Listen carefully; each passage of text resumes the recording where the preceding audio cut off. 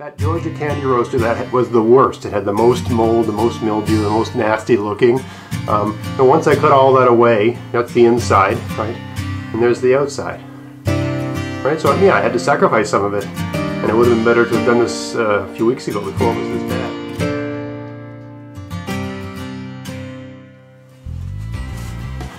Hey, it's Greg here with MaritimeGardening.com and I thought I'd do a video on the different types of squash I chose to grow uh, last season, 2019, and they're all in storage. And my, uh, my experience with these different varieties, and by virtue of talking about that, uh, speaking about the different considerations you might want to uh, run through when you're considering which squash to grow if, if squash is an important vegetable for you it's it's seed buying season, I guess you could call it that, right? January, February, it's when we plant our gardens out and buy our seeds. And, and I guess I should mention um, uh, Veseys Seeds has uh, again given uh, my viewers a uh, coupon code if you want to get free shipping on everything but oversized items. Use the coupon code GAVS20 for the 2020 year. Um, basically, the, the deal is free shipping on anything you buy as long as there's a pack of seeds in the order. So um, the details are in the description box. So I grew three different kinds of squash uh, last year. I grew uh, Georgia Candy Roaster, uh, Blue Hubbard, or sorry, Warted Hubbard, and uh, this sort of traditional, uh, I don't know what these are called, it's some sort of Ukrainian word. I got these seeds years ago and I just keep saving the seeds every year. But they're kind of useful because you can turn them, uh, if you set them like this while they're growing, they'll, they'll get sort of short and fat. If you leave them sideways, they grow long and narrow. But if you, at least it seems to me, if you set them like this, they kind of take on a shorter, fatter shape. And you can make a jack-o'-lantern out of them, but they're also not bad eating. So, anyway, I thought I'd do a little comparison of these different three and talk about my experience with them. And uh, maybe that might help you make that decision. So, for me, the uh, most important thing about growing a squash is uh, I don't really grow pumpkins per se. I mean these uh, these things are a pumpkin technically, I guess. But I mean I'm, I don't really care about decorating my front step. It's more about food.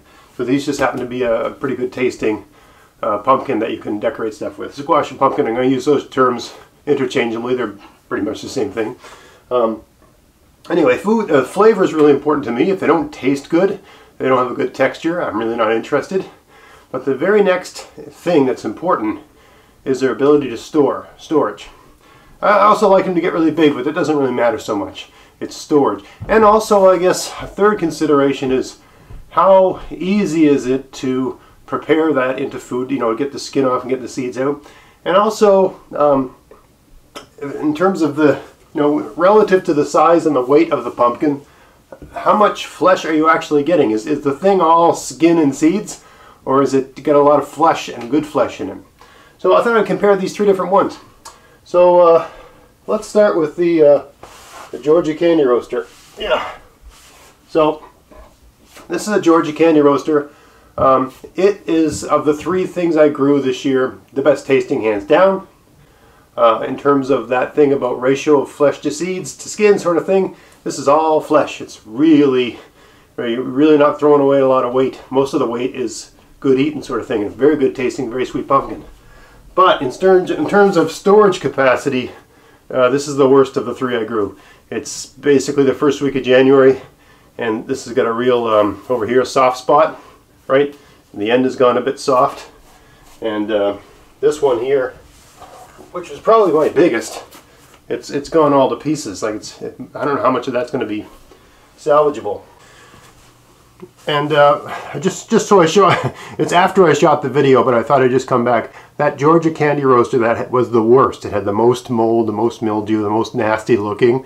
Um, and once I cut all that away, that's the inside, right? And there's the outside. Right, so I mean, I had to sacrifice some of it. And it would have been better to have done this uh, a few weeks ago before it was this bad. But uh, it's still fine, still perfectly salvageable. Smells fresh, um, you know, totally salvageable. So I mean, it's not the end of the world. I mean, I've chosen today since I just noticed this today. There was a, a couple. My wife had some stuff stuck here, so I, normally I, the the door to the garage is right where you're standing. So I come in and see these every day, so I do a quick inspection. But there've been some stuff sort of piled up here. uh, this is my garage, I guess, but it's uh, it's about half the size of a gr- garage I would prefer to have. And since my wife uses it sort of as a storage room, it's half again what it needs to be. Uh, so it's uh, anyway, that's life, right? So anyway, um, you know, I, I took. Uh, I just started doing this where I get the idea for this video today is I I'm cutting up the Georgia Candy Roaster, all of them today, throwing away what's uh, no good and taking what's salvageable, right? So this doesn't, doesn't look bad, right? It's one of them. I probably threw away, oh, 30% of what I'd normally get out of it. I had to throw that away. So I should have done this maybe a couple weeks ago. Um, so I'm just going to bake that on the oven, assuming the power doesn't go out, and uh, mash it up and put it in containers and put it in the freezer and take it out and use it as I need. It's just another way to store it. It's so much easier just to stick it on a shelf in a garage. If, I know people are going to ask me what the temperature is in the garage here. It's, it's today. It's, um, it's, it's like a snowstorm, so it's uh, usually we have snowstorms when it's around zero C, and that's exactly what it is outside today, zero Celsius. The garage is around eight Celsius. If it was minus 10 outside, it would be like five Celsius in here, above zero. Uh, so, candy roaster, Georgia candy roaster, best tasting great yield in terms of what you're getting flesh-wise. Um, but in terms of all the things I've grown and, and the conditions under that I'm storing them under, not so good. Uh, now there's lots of reasons that that could be the case. Perhaps the skin isn't, uh, maybe I should have harvested them a week earlier or a week later. There's all kinds of considerations like that. I think I harvested them at the right time, but uh, you know, who knows, right? Uh, so the next one I might talk about is this, um, whatever this one's called. It's some, I'll put the name up on the screen and I'll leave it to you to find where to get them. Um, so this one here is uh, stores it really well. Sometimes these keep all the way till March for me. Uh, usually February, but some of them will keep to March. So they start getting soft around the ends, around the end of February. That's not bad. Um, you get a, a, lot out of it. A good portion of this is meat as opposed to seeds and space and stuff like that. Um, they really easy to grow, really robust, store really well, and they taste pretty good. I mean, they taste way better than a pumpkin sort of thing, right? They don't taste as good as a Georgie candy roaster. They don't taste as good as a, you know, like a, bu a butternut squash. They don't taste as good as that. Um, they don't taste as good as some other squashes, but they're they're they're acceptably good. guess I put them that way. If you bake it in the oven, a little salt and pepper and brown sugar, they're good, they're fine, right? So in terms of like a very reliable yield, good storage, edible, and you can also decorate with them. These are really good all-around pumpkins, pumpkins like these. Uh, now, the last of these, and I've got hardly got any of these left. The uh, the warted Hubbard. So I would say that in terms of uh, storage, these are excellent so far anyway. They're, they're doing way better than the, uh, the Georgia Candy Roaster, right?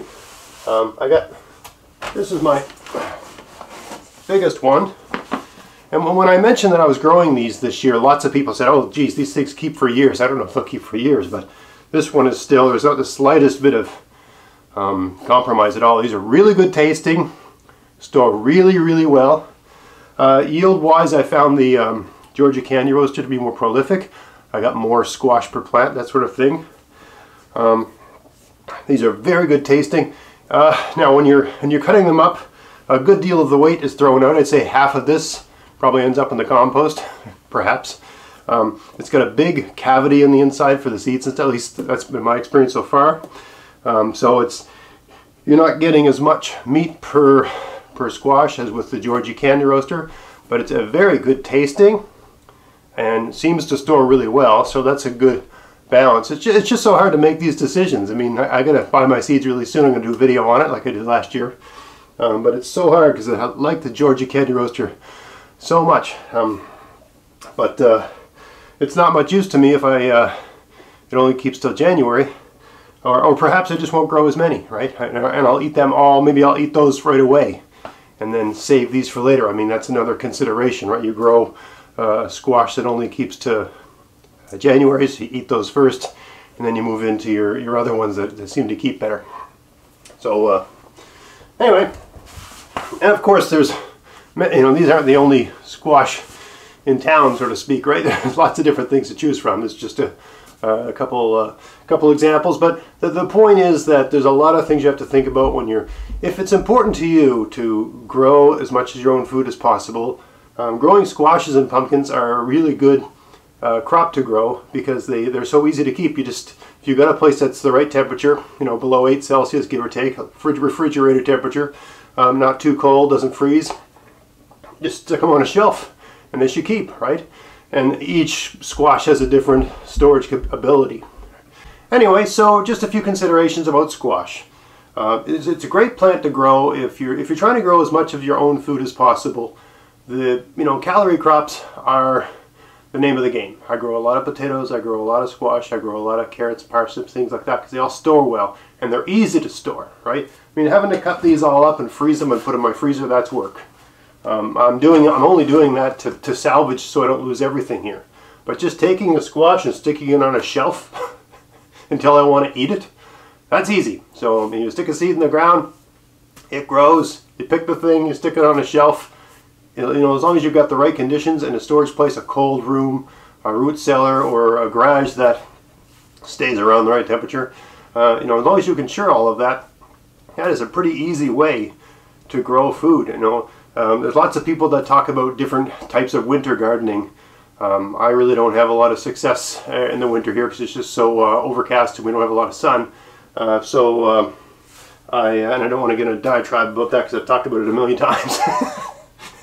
For me, it's, it's just grow as much stuff as you can when things want to grow, and then find different ways to save them. And tend to, I tend to favor the things that are stored easily and are, have very little work to store instead of canning everything and putting things in jars. I think just sticking, you know, this is its own jar. right? So that's a lot easier for me. So I hope you found that interesting. If you did, please like, share, subscribe. Check out my podcast, maritimegardening.com. And until next time, get out there, get at it. Have fun in your garden. Thanks for watching.